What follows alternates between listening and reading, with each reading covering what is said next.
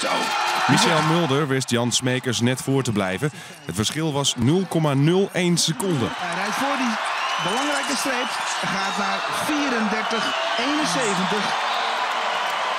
En is zijn broer voorbij. Ze staan nu 1 en 2, de tweelingbroers. Onvoorstelbaar.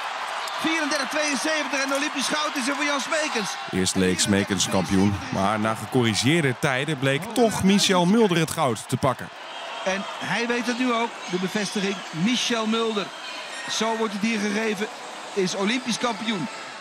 Broer Ronald Mulder pakte de derde plaats. Oh, nou, nou, nou, nou, nou, nou, nou, nou. Stefan Groothuis uit Voorst had een minder goede dag. Hij kwam ten val bij de start van zijn tweede race op de 500 meter.